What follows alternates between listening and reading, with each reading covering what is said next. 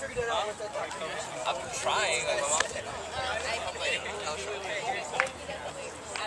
Remember, if you feign a heat stroke, I'm going to get my power cord. You should be fainting of it. Oh yeah, by the way, uh, you guys.